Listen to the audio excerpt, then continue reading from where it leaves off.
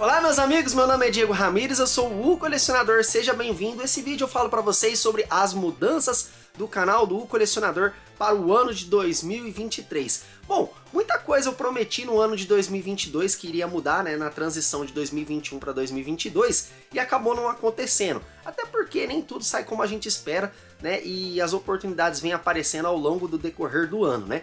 Então eu gostaria de falar para vocês né, o que eu tenho em mente de fazer, algumas coisas que eu dei uma parada, dei uma amenizada, algumas coisas que eu vi que não tá dando mais retorno, não tá trazendo mais é, é, tanto é, views como receita, como público, como novos inscritos, e meio que eu tô dando uma diminuída. Já tem um tempo né, que eu tô diminuindo vídeos de Feira do Rolo. Quem me acompanha é, sabe que eu fui lá no Rio de Janeiro, visitei o canal 3, visitei três feiras do rolo, né? Eu ainda tenho mais de 10 vídeos ainda de Feira do Rolo para postar ainda nesse ano de 2023, né? Eu já postei acho que uns 8, se eu não me engano. Eu fiz uma maratona, eu gravei 6 horas de vídeos lá no Rio de Janeiro e é, vídeos que eu pretendo dar uma diminuída. Vídeos de Feira do Rolo, até porque acho que o hype, o, o hype da, da Feira do Rolo, ele passou, né? Tem bastante youtuber gravando Feira do Rolo. Eu acho que não é mais tão emocionante, não é mais tão novidade isso.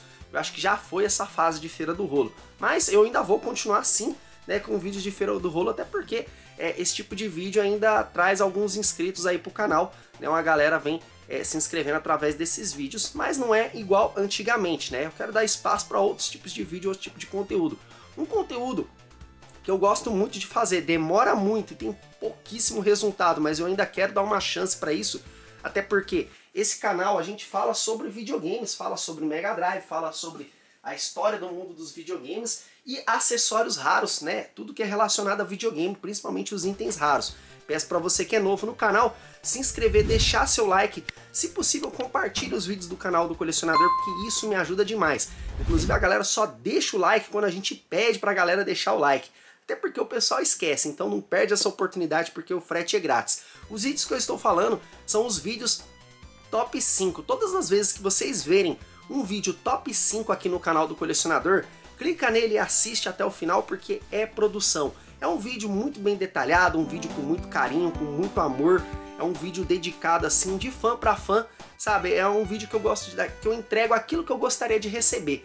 E é um vídeo super produção, né? O meu próximo top 5 é, vai ser o top 5 jogos de futebol americano. E por que eu escolhi futebol americano? Porque eu aprendi a gostar dessa, desse esporte eu acho que vale, uma, vale a pena você também querer aprender, né? E tanto é que eu preparei um vídeo especial que ensina você a jogar e ensina você quais são os melhores jogos de futebol americano, né? Claro que eu vou deixar aqui para vocês o card do top 5 melhores jogos de futebol que surpreendeu muita gente e foi um vídeo simplesmente incrível. Um outro vídeo é, que eu... É, outro vídeo não. É, outra coisa que eu quero falar é que a, a, a, a média de postagem vai reduzir. Né? Dia de terça e quinta eu vou dar uma folga aqui pro canal. Dia de terça talvez até poste, dia de quinta-feira eu não vou postar vídeo, né? Até porque é, a gente, eu preciso tirar uma folga, né? E geralmente essa folga eu vou converter em dia de edição. Né? Eu pretendo postar dois top 5 durante o mês, porque são vídeos mais elaborados, vídeos que demoram, é, é, consomem mais tempo, diferente desse vídeo que é simplesmente parar, olhar para a câmera, colocar uma edição ou outra, ou até mesmo um card aqui, ó que legal, o card ficou desse lado. Tá em algum lugar o card aqui, mas enfim, é mais um top 5 que vale a pena você assistir. E eu pretendo também, esse ano, é trabalhar um pouquinho com vendas, né? E aí eu vou trabalhar com vendas, né? Ou vai ser no Instagram ou vai ser no grupo O Colecionador Facebook. O link tá tudo na descrição aí, então segue a gente nessas redes sociais, tá? Colecionador, então agora você vai virar vendedor? Não, eu não vou virar vendedor, né? Eu vou trabalhar um pouco com vendas, né? Vou vender alguma parte da minha coleção, algumas coisinhas. Já, já comecei a vender algumas coisinhas aos poucos, mas eu não anuncio muito. Geralmente é só no meu, no meu, no meu, no meu status do meu, no meu status do, do, do meu WhatsApp, né? Mas mesmo assim eu já procuro mandar para uma pessoa ou outra. Até porque tem uns borracha emocionado que fica perguntando coisas que eu já postei há três meses atrás. E isso toma tempo. E aí a gente tem que responder a galera com carinho, né? Falar, mano, eu vendi, eu postei e no outro na sequência eu falei, ó, vendido, mas a pessoa só viu que eu postei. E a pessoa vai lá e pergunta. E tem coisas que a gente já vendeu há muito tempo, a pessoa quer comprar e fala, não, já foi. Então eu vou meio que me policiar, né? Porque a gente que é influenciador, a gente recebe muita mensagem. E aí recebeu um monte de mensagem, mais um monte de mensagem, gente querendo comprar, a gente vai ficar doido tentando administrar tudo isso, e vai acabar não respondendo, aí o pessoal vai achar que a gente tá ignorante. Tem gente que bloqueou, mandou feliz aniversário para mim, eu não consegui responder ainda, não consegui visualizar, e a pessoa foi lá e me bloqueou, porque achou que eu ignorei ela, que eu sou estrelinha, nem, né, ou alguma coisa do tipo.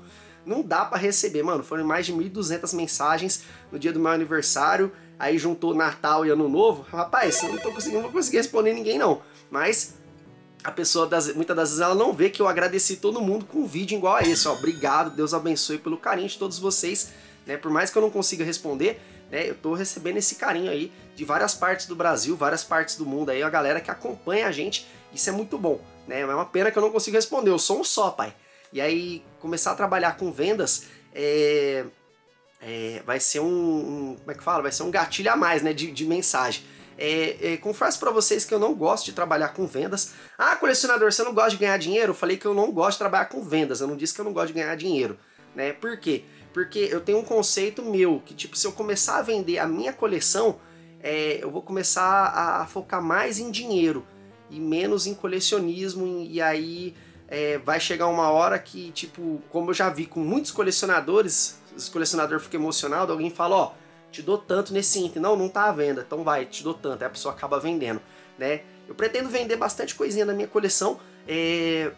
nada de Mega Drive, nada. Por quê? Porque se eu vender um acessório de Mega Drive, que seja que seja um cabinho RF bem simples aqui, coisinha que vale 50 conto.